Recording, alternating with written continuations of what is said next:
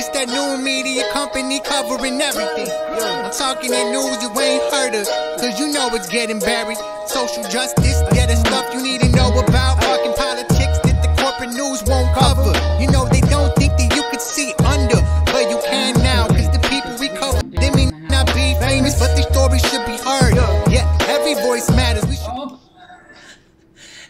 morning, everyone. Welcome to the program this morning. And this morning, we are delighted to have a special guest with us. Uh, so, first, let me introduce my lovely and talented co host, Andy Kennedy.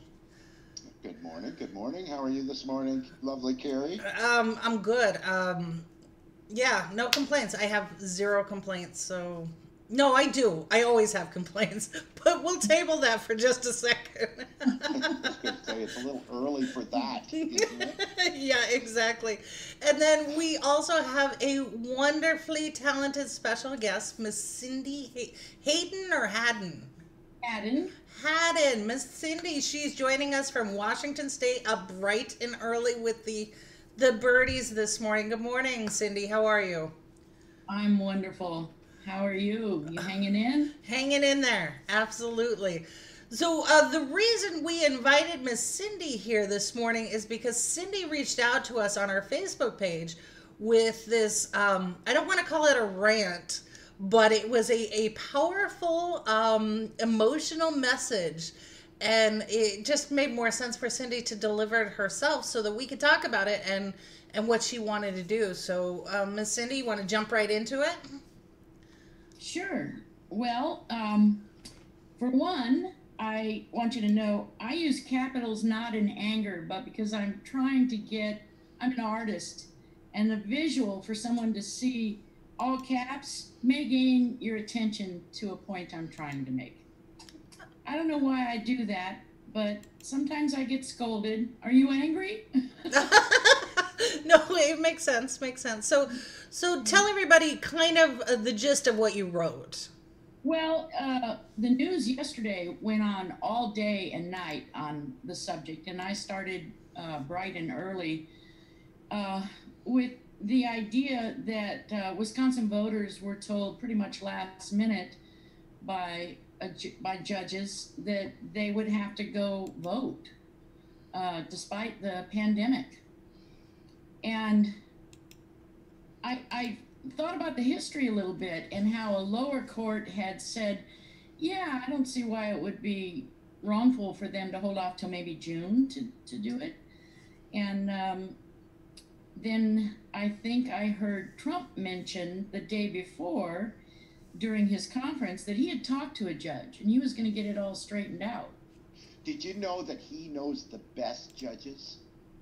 Yeah, oh yeah. He knows the best people, right? And so anyway yeah came back that uh, five to four votes said no you'd have to go out. And so i started thinking a lot about that. And basically what that told me was that judges the judges were now telling americans that if your vote is important to you if the country is important to you um, you need to face possible death to do what you have to do for your country. Go vote. Isn't that the same argument that we heard for um, older Americans to go shopping? That if you're a patriot, you're going to go out and shop regardless and support your small business. And if you die, you die. Who is it? My um, Mike Huckabee was the last one to forward that. So, so Cindy, are you saying you're not a patriot? What? I, I don't get it.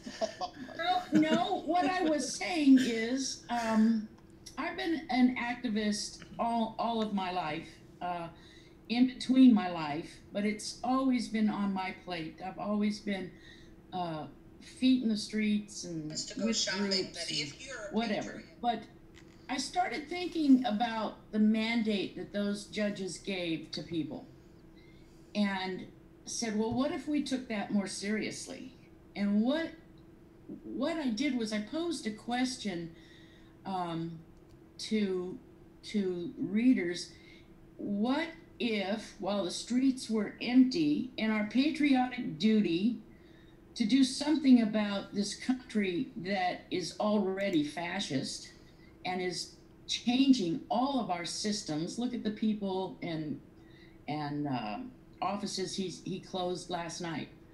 Uh, rapidly while we're ill, you know, um, why wouldn't we choose to get out in the streets and put our masks on and do our patriotic duty?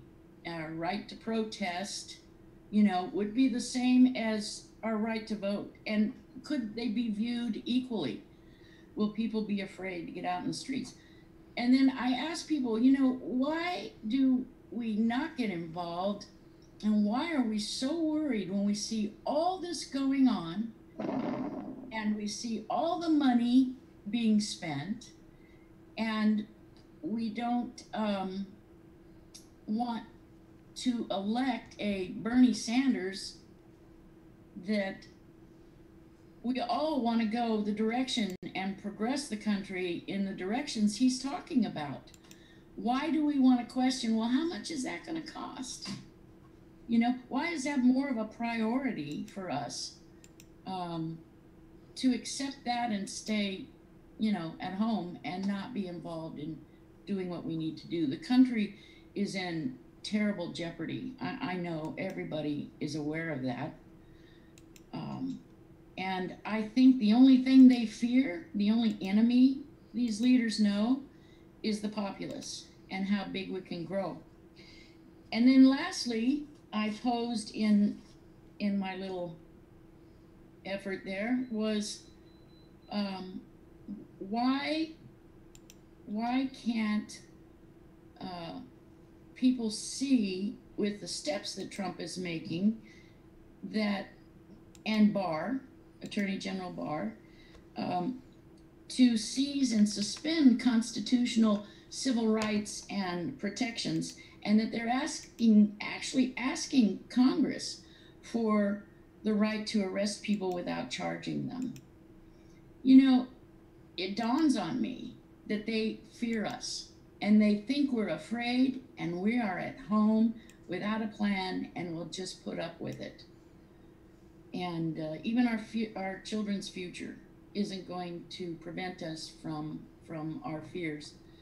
And um, what do you think they'd do if we did rise up? If we just walk the streets, whether it's violent or non-violent, the plan is on their end to arrest us, put us away. Well, um, I I think that we can point to uh, you know what it's a good question. I don't, I don't know. I think every state response would be a little bit different, but I want to look back at uh, the Women's March in D.C. and you had how many million people there peacefully, you know, their mm-hmm. constitutional right. Um, I I don't know that that had any effect. So it, it is worth exploring Right. So you've got the example of what's going on in France with the yellow vests. And mm-hmm. and they have most of them are peaceful, some are not.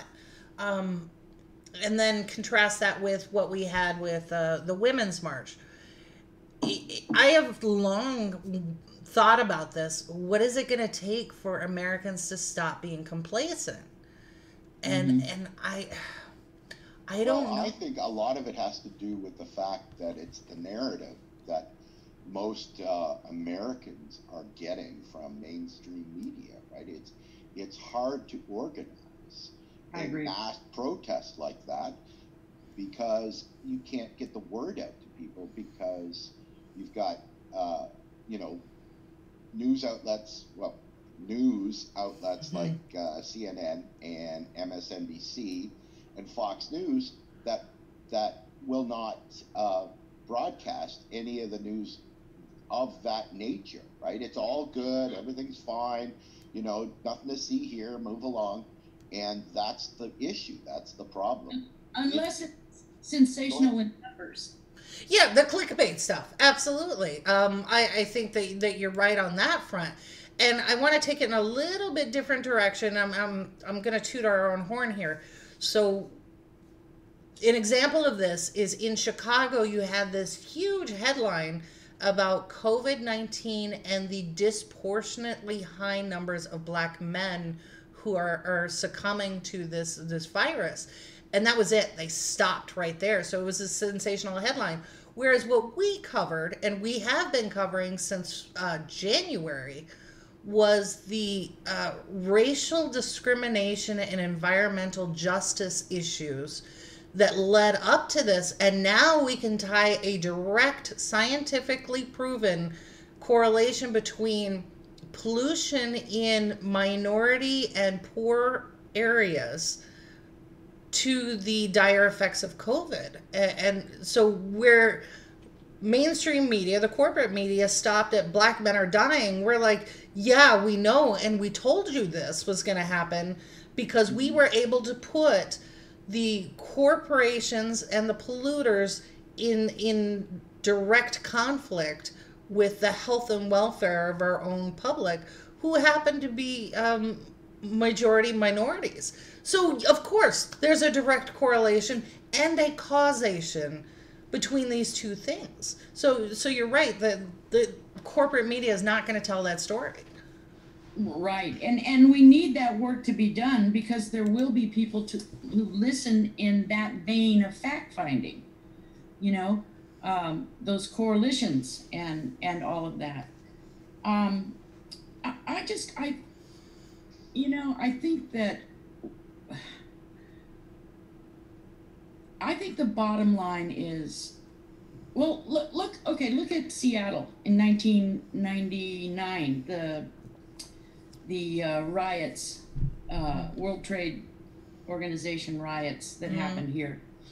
They planned for six months for that coming, and it was comprised of church groups and uh, justice groups, but also some of the others who purposely designed some violence, okay, breaking of windows and stuff, and then had to fight the media not reporting correctly at the time, saying that people were throwing gas bombs and stuff at the mm. police and they had to retract later and so who's getting what fact out of that they they look at the the protest as being somewhat successful in that they did get the media to start talking about uh, uh, the World Trade WTO mm-hmm. issues mm-hmm. and what it would mean to all of us.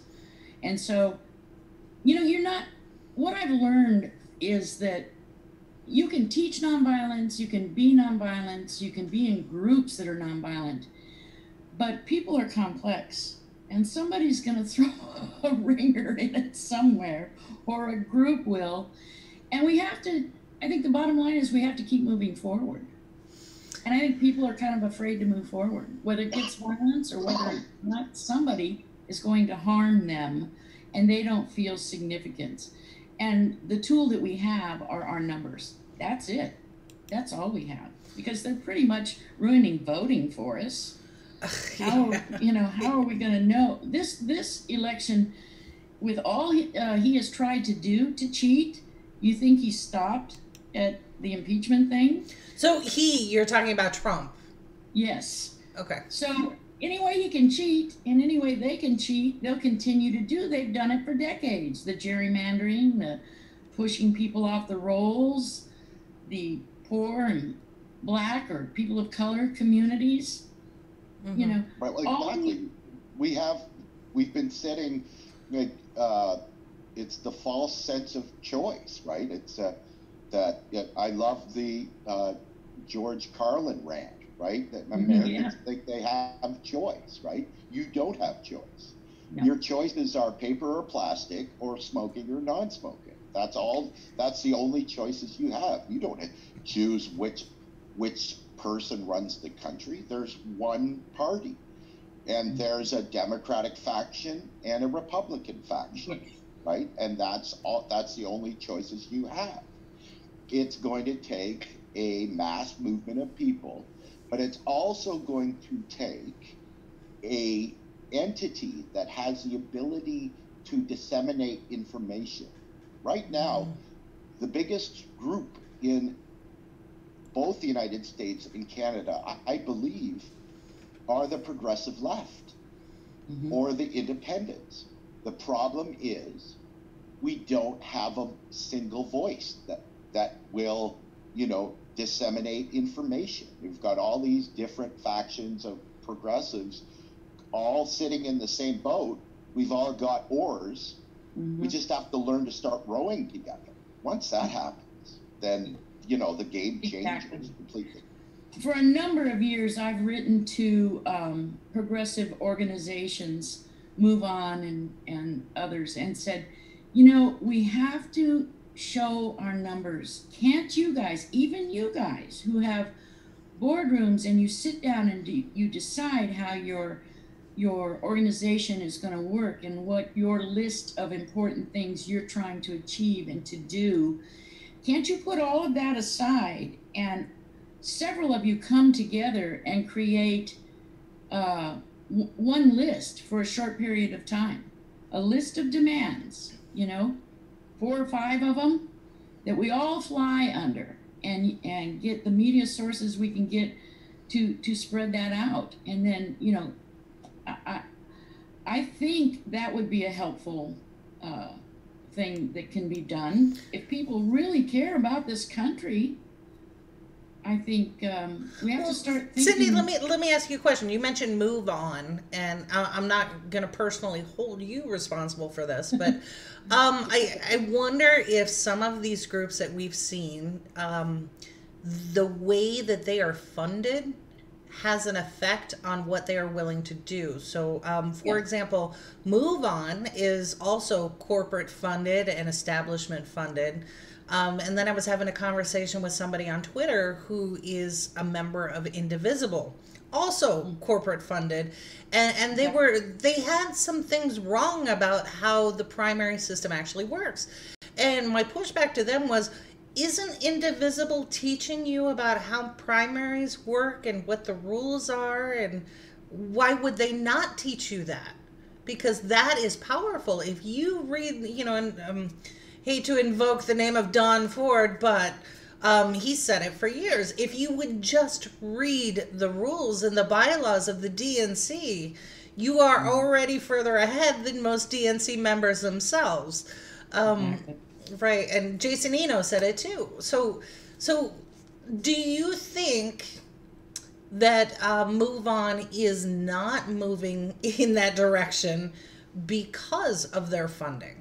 Well, I, I think that all, all of them cater to their funding. I mean, here's here's another situation. I remember calling the Susan Komen uh, many many times organization over the cancer thing, saying, "My gosh, we have been marching, biking, riding, singing to end cancer in this country and spending Lord knows how many trillions of dollars in donations. And I said, why don't we have a cure yet? I don't know. I don't know anything about that or the records. All I know is I call people for donations or I wouldn't have a job. Mm. So, you know, we, there is nothing today we can trust. And so we have to dig harder to tell people what we want as Americans and and seek to regain trust and truth through through those things, I think. Okay, so let me follow up that question about funding, right? So um, we have Bernie Sanders, who is not taking corporate money. He's not taking PAC money. He's or, or dark PAC money. I guess you could reasonably argue that our revolution is a PAC, but it's still small donations. As opposed to, excuse me, other candidates who are taking PAC money and things like that. Do you think that the the way that funding comes through from small individual donors lends to a sense of credibility and accountability that is not there um, for the the big dark money issues? Yeah, I, I believe it does because I think it's empowering for the individual to see when we come together what we can do. I was really amazed how much money comes out of all of us from any economic and and he he he can make millions of dollars overnight or any of these other candidates that tried that with donors. Um, so I thought, okay, so it's not really the money that's the problem. Uh, what the problem is, no one, nobody's just trusting corporations whose lobbyists have filled the People's House for decades at a clip that is unbelievable, you know, and essentially has purchased the government. This is a huge, huge job. I, I don't know if we're going to lose our democracy or not, but I, for one, am the kind of person, and having done justice work in various areas over my life, I know there's only one thing we can do, and that is to press forward. We have to move forward. We're not teaching kids in school about government anymore and politics or history. I mean, when I was in sixth grade, before I was allowed to graduate and go to a new junior high school, I had to pick a time to uh, request to go down and stand in front of the principal of my school at his great big oak desk and recite by heart the preamble to the Constitution. And I've never forgotten it. You know, it's amazing uh, the things that we do not do anymore to inform people of who we are, how we're supposed to work. You know, no wonder when you mention uh, democratic socialism, they all move to oh my God, communism's coming in. right.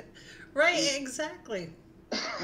no, we're not well, now the problem, a lot of that problem is that, um, you know, if you're old enough, then you went through the decades and decades of the Red Scare, right? Mm. Of the mm-hmm. Soviet Union and communism bad and and so it's easy to trigger people of that era because mm-hmm. if you all you have to do is say socialism, oh well I heard somewhere that's communism, well that's bad. Yeah. You know? When I was young in school, we had the air raids and had to get under our desks. We had two flags, one in each corner of the classroom. One was the American flag to where we said the Pledge of Allegiance, and the other one was the Christian flag at the time. People, I still talk to people today that don't understand when that flag came in and when it was moved out. You know, mm-hmm. relatively short period of time. It wasn't in our. Uh, it wasn't by the founders. You know. Um, so there's been there's been a lot of change, and here's here's one of the things I think that's kept me going too is we have to accept the fact that change is the only constant in the universe that we can count on and trust. We're going to have to get along with change. And when I started doing some larger uh, participating in national groups around the country and all, um, I remember I started by going to a seminar, and the speaker came to the podium and said, Would you just raise your hand if you believe that people can change?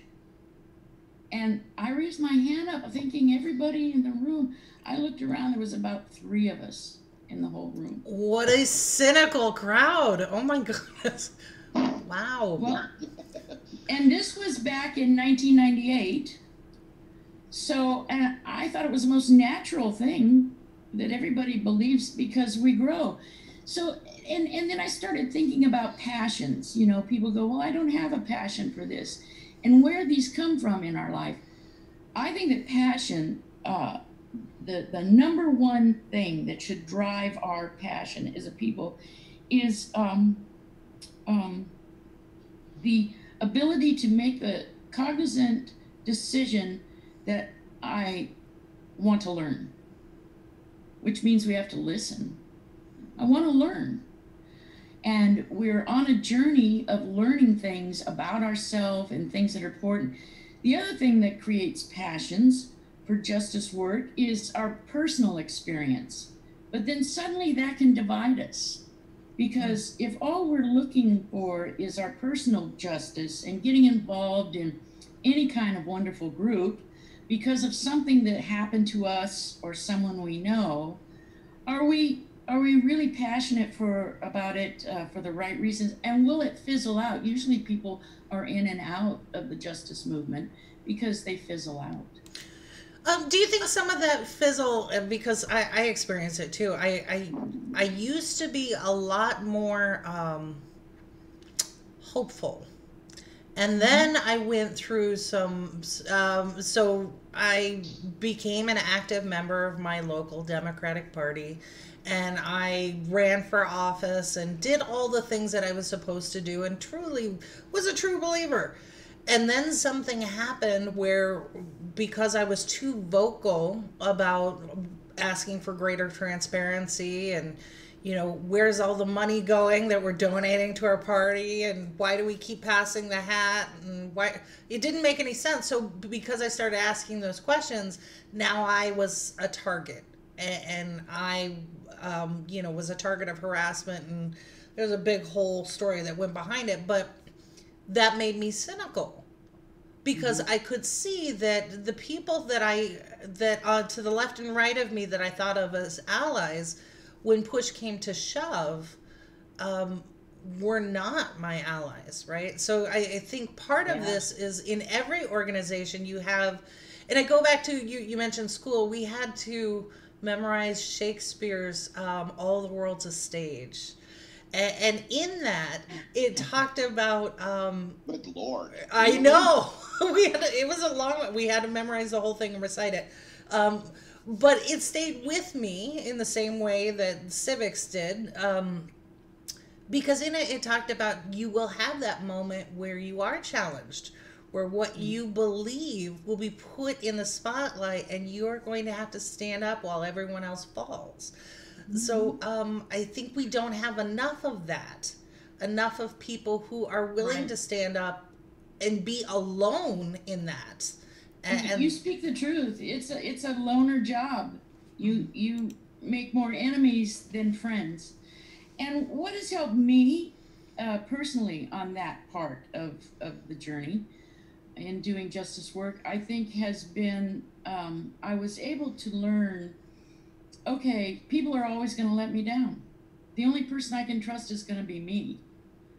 What tools do I have to stay hopeful and involved? And I think those would be um, uh, we have to uh, use our our intellect. We have to, you know, our decision to to make good choices for instance, on this virus thing, just real quick for a moment, sidebar. One of the first things the people came out to tell us was uh, Governor Cuomo and some uh, executives, uh, medical executives, was there are no good choices here. None whatsoever. No good choices. The only thing we can do is make good decisions. And Cuomo said, make a list Make a list of all the negatives and make a list of the positives. Do it daily. And, and they are telling you things are going to change. And we have got to grasp that and be ready. And it's okay because change is the only thing we can count on. So, um, intellect is one, um, our faith is another. You know, every one of us has faith, every one of us. It takes faith to say, I believe in God or Buddha. It takes faith to say, I don't believe in any of it. It's an act of faith either way. This is our collective uh, things that we share together as humanity. And we don't look at the things we have and that we share and use. And then I think third is our intuition. Um, when we go into a riskful situation or something that could become risky. Um, in my life, I, I, had a rough childhood and protected my siblings. Um, I picked Jesus to talk to from the time I was three and four years old. And that's remained. You know, it's a habit that even if I didn't want him in my life anymore as a teacher and a mentor, who I look at that person as being, um, yeah, you know, you have to you have to put your faith in your uh, intuition that your higher power, whoever it is, even if it's yourself that you're investing in, um, you know, I think that um, we use the gift of intuition to know we'll be safe. And then we have to also recognize the reality that we might not be safe. Mm. You know? Right. Uh, I know biblically, uh, it's um, those that give down their life for another. We uh-huh. see that happening today with all of our medical people and everything. They don't want to be there. They wouldn't be running into that fire if they weren't told to, right? Um, I don't know. And Andy, um, I, I, don't know if this is hitting too close to home because Andy's wife is right on the front line, but um, we had talked at length about the personality um, of somebody who's going into the healthcare field. Nobody goes into it to become a millionaire. So that personality is the same one who is in the hospital without the proper protective gear. Yeah, where is yeah. the PPE? Right, that's exactly right. So they're still there, knowing that they are at risk, and and Andy um, is has made great accommodation for his own family to protect them and to be supportive of his wife. So, Andy, I'm not going to speak for you, but jump in. But the overarching point that I wanted to make is if we're going to have faith in, in what's going on, you're right. Let's look to these people who are putting themselves in harm's way and know that they are putting themselves in harm's way, even as their colleagues are are are not uh, faring too well. So well, that's, that's exactly right. And then I think that you have to think in terms of the people that are on the front lines in their jobs as healthcare professionals. It's ingrained in them, right? It's, of course, it's scary. Um, of course, they're worried about themselves, but probably because of the nature of most of them, they're worried more about their families, right? Mm-hmm. And of course, their patients.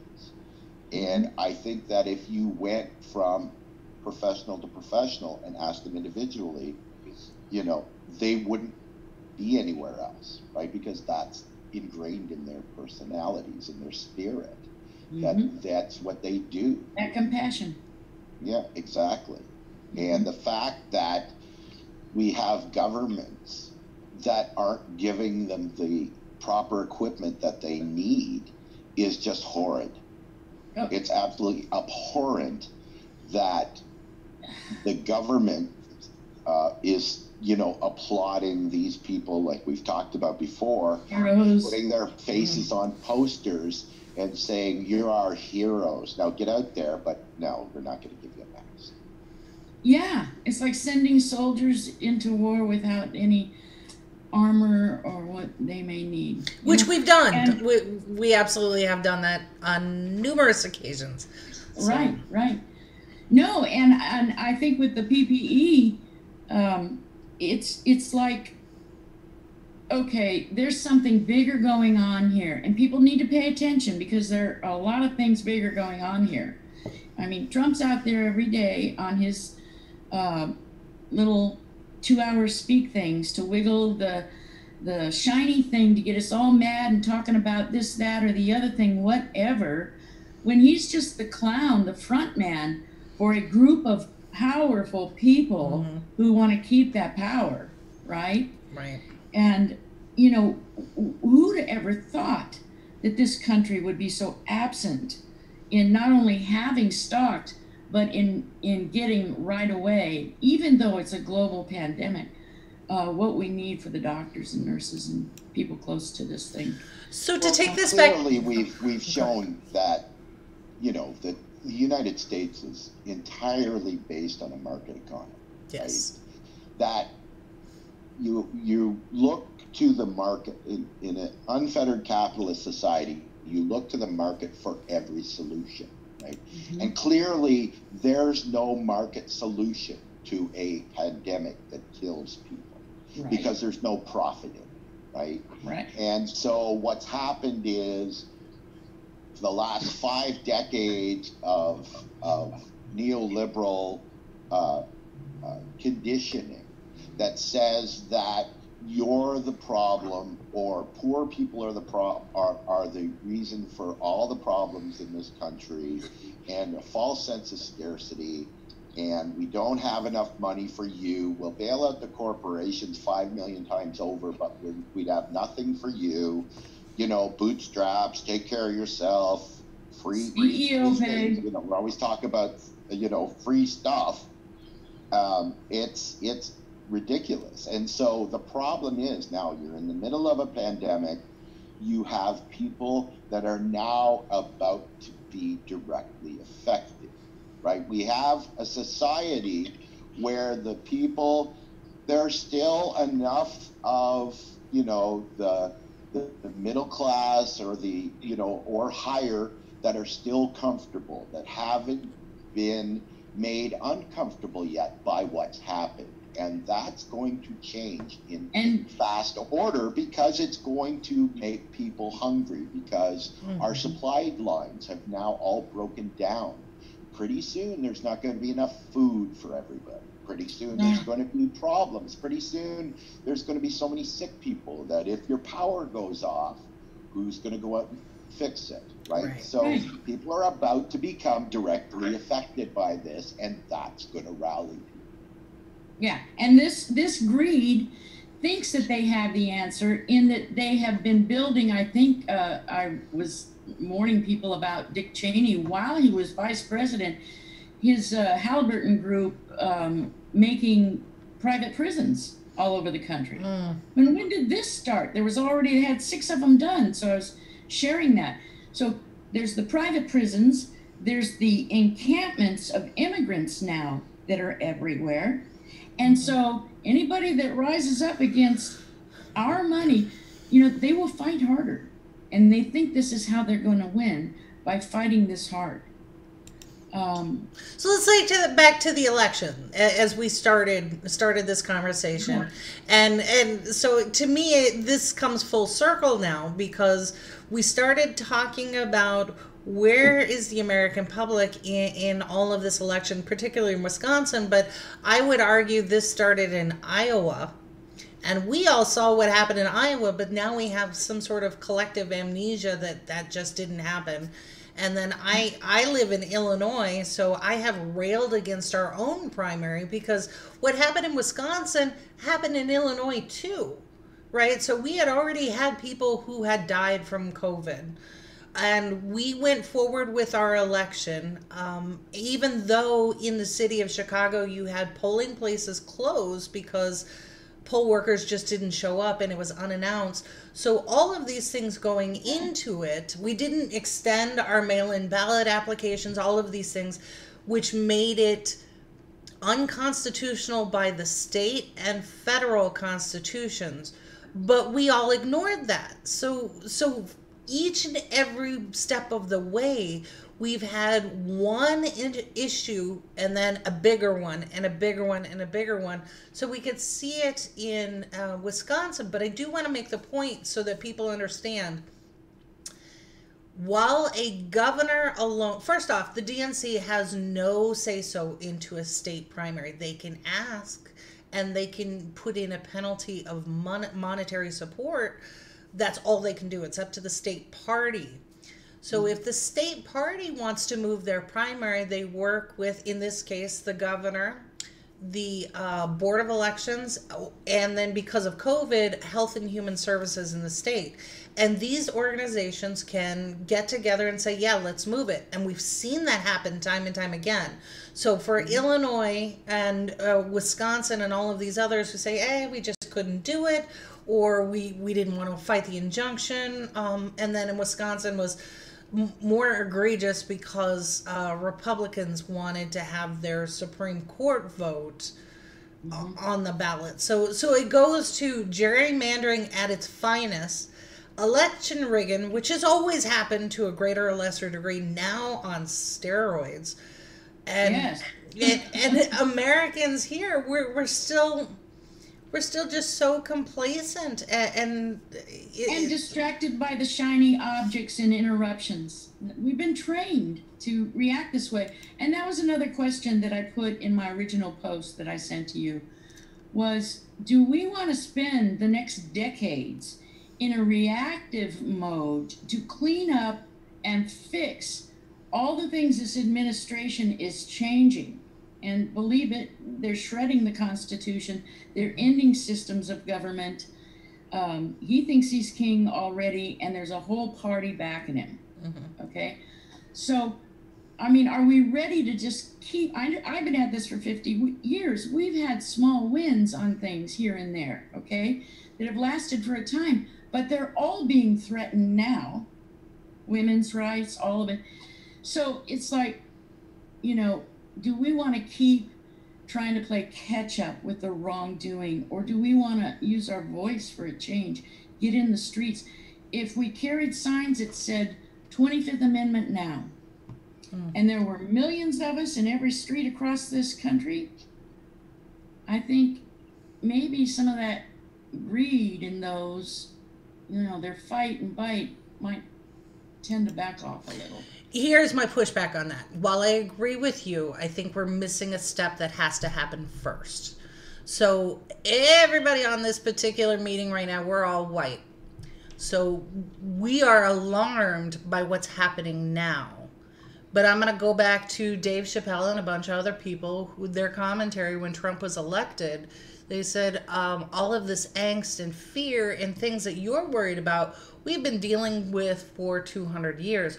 Welcome to the club, right? So yeah, exactly. Right. So my my pushback and suggestion would be in order for this coalition building to work, we have to have a real come to Jesus moment with ourselves and acknowledge that women's rights and all of these things are secondary to the social justice movement that it's it's got to be all of us or none of us exactly i agree i agree and so if we do that first and we acknowledge brothers and sisters who are brown and black and indigenous people and and how we we personally on the left have ignored things and let mm-hmm. it go because it didn't affect me in white suburbia. If, if we really make a, a sincere effort, mm-hmm. Then I think that coalition building you're talking about, yeah, we can do it. And, and it cannot be just over what we call women's rights or reproductive rights. It's oh, all yeah, of us. Exactly. And everybody wants to bring something else to the party you've designed. Mm-hmm. And so it gets you know, many things involved. But no, I agree with you. You're absolutely right. And the only thing that I think in my head uh, that would bring all of us together for that one thing is we've got to stop in our little groups, wherever we live and whoever our friends are, uh, looking at our experiences in, in that bubble as the correct path or first path to uh, be passionate about justice. But we felt violated, and so we did something. But we're doing something for maybe, you know, the white people or the black people because it happened to them over here or here over here. You have to look at the big thing. And like you said a minute ago, this is like on steroids. And I think the people have to react in one voice and all together to that kind of a situation, or we're, I think we can lose our democracy very quickly. Hmm. While we're trying also to heal. Want to, would want to push back on one thing that you said that um, are you worried about it taking decades and decades to fix it? Uh, my major pushback on that would be that the change in climate is not going to give us that much time. Hmm. Oh, yeah, no, no, no. I mean, we don't even have two years here to come out of this virus and maybe heal before everything in our constitution and government is completely different. And what I'm trying to tell people is given that short period of time, a year or two, you start shoving policies or medicines into healthcare and stopping the rightful healthcare. It takes very little time for all of those things to get into a system um, and become this is how it is. This is the new way. This is, you know, and all those profiteers, you know, they're going to move forward and we're going to be the slaves. and on that note, um, so uh, I just want to make a, a, a, quick plug for what we're doing here, right? So um, the reason we started this entire organization was because of the pushback on corporate media um, because we we have so few uh, progressives and, and just real quickly progressive doesn't necessarily mean to the left progressive mm-hmm. means center policy fiscally responsible socially responsible policy and we're seeing this in play right now why it's so necessary So it's it doesn't matter where you fall on the political spectrum. Once you understand what these policies are, Exactly. how they work, federal spending, all of these things, you, you cannot call them far left or fringe left. So No. the- yeah, so No, I mean Cortez and the, the girls, they're just trying to move things that have been forced so far to the right over decades now, just back to the center. Hey, did you forget? We're not way over here. We're really here. Right, So that, that's exactly it. I, I think your point earlier about uh, corporate media and then the funding. So this is what we're doing with Progressive Insider. So um, our motto is, you know, the people that we cover may not be famous, but their stories should be, which is part of the reason why we wanted Miss Cindy to tell her own story and make her own case. So with that, we have launched uh, Patreon funding, and I feel very strongly that this is the way to go. So for as little as like three dollars a month, people can support progressive media as opposed to going to the Wall Street Journal where they're supposed to be the fourth branch of government, but you've got a paywall to get to even basic election information. We will not do a paywall up front, but we do ask for contributions. So I just want to make that plug. And then um, before we get out of here, Miss Cindy, you are an artist. And I am an artist. yeah, so Yes. would you tell people a little bit about what you do, how you do it, and how how long you've been at this? Well, since I was a little girl, uh, in third grade, I had a teacher tear up a picture I crayoned of five little girls holding hands because one of them had green hair and one of them had purple hair, and she said there's no such thing. My dad was a fine arts illustrator, and he marched up there and said, "Don't you ever do anything like that." Good for him. Yeah. so so i i've been at it a long time and he taught me uh, he, he allowed me to work for him from ages 12 to probably 18 uh, he had a graphics business uh, he's the only artist i've ever known that raised like six or seven kids um, doing what he loved okay and uh, but so there's there's all of that. I have my own business here in Washington State for a while.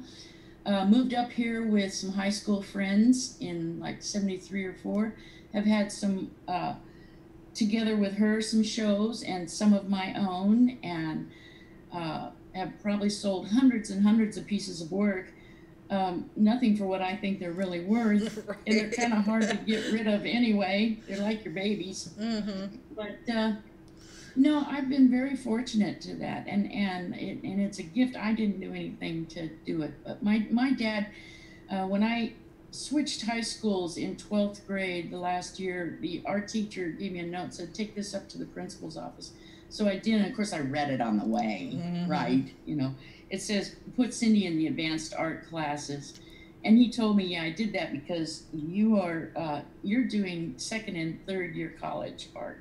Oh wow. So my dad was really good about that. And I get a lot of solace and peace in what I do. There's sometimes there's justice posters and other times it's nature. I love nature. So I have a website and uh, it's posted on my Facebook page. No, no. Tell us your website. Go ahead and tell us Come your on, website. you got it. Promote it, girlfriend. Come on, let's hear it. Okay, it's Cindy Hadden Fine Art uh, dot com, I think. Okay, Cindy Hadden, fineart.com, and we'll post that so that everybody who sees this, when they finally wake up, uh, will will get a chance to go check out your stuff. So, And in terms of the activism, I uh, put some stuff on my Facebook page. I, I put some of my albums of years past of the groups and photographs of people out doing justice. If anybody's interested. oh, oh no, I think we just lost Cindy. Oh, Oh, I, oh did, I can't tell, so I, I did hope. I hoped it wasn't me. no, her her video froze. So, um, well, uh, okay, we're we're almost up at the hour anyway. So, um, Andy, thank you so Yes. much. do, you Um, mind, do you mind if I tell a quick, a real quick story? no, absolutely. Go ahead. Go ahead. Okay, so um, yesterday I had an appointment to give blood. And of course, I was very nervous about it. And so the blood donor clinic opened at two yesterday afternoon, so I called them and said, I have some reservations. I I want to make sure that all of the people that are working there have a mask, right?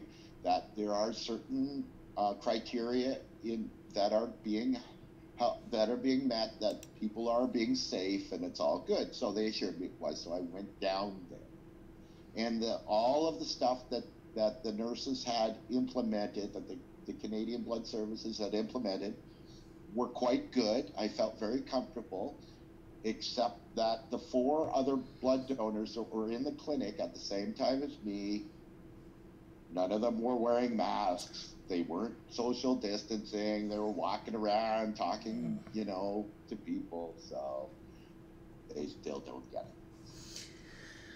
Come on, people! Just a just a little bit of effort. It, this is I, nothing exemplifies more that we are all in this together than a global pandemic, and just just just a tiny bit of effort and and you help yourselves as well as others um so my my little rant uh, is a gentleman on my my particular facebook page lovely gentleman, a little bit older. Um, his commentary was that he would risk his life to go vote. And and my pushback was, well, it's not your life that you're necessarily risking. It's everyone else. Yeah, you don't have the right to put other people in danger. That's why you have to social distance. That's exactly right. So, um, on that note, I've got one comment here from Jeffrey on our Facebook page, and I think it's a good one to end on. He says, okay. um, share our similarities and explore our differences. So, I, I think that's, you know, while we're all still sheltering in place and social distancing, uh, maybe use some of this time to do that in a positive, constructive way and just shut up and listen. Listen to someone else is is giving you their experience, their their point of view, um, because you can learn from it without having to go through the exact same thing that they did. So, yeah. Well, we might have to do it virtually, but it, let's reconnect with one another. Right? Let's exactly. make time. Now that we have time, let's make time for one another, right? And I just yeah. want to announce that at the end of all of this, my wife and I have decided that we're having a big party called Hugapalooza. Oh, wonderful! So there you go. All right, all touchy feely. yes, yes. If you're not comfortable with hugs, don't come. I will admire from afar. So, all right. On that note, thank you everybody for joining us, and special thank you to Miss Cindy. So make sure you go check out her website, cindyhaddenfineart.com, and again, we'll post that here. And then also, if you appreciate what we're doing, maybe a tip. Um, we have a PayPal, so it's paypal.me slash progressiveinsider.com uh, no, yeah, paypal.me slash progressive insider, and that should get you there. Or if you go to patreon.com slash progressive insider, you can just for like $3 a month support the programming that we're doing. And we are actually growing. We're bringing on two new fantastic um, citizen journalists themselves, one from North Carolina and one from Detroit. So very excited to have them join our network as well as help us share news and commentary from around the country, around the world. Um, and to, on that note, Nancy Robertson in Jordan, thank you so much for your kind assistance helping us tell the story about Syrian refugees living in Jordan who are also dealing with this pandemic at the same time. So, um, with that, thank you so much and enjoy the rest of your day. Thank you, Kerri. Take care. Thanks.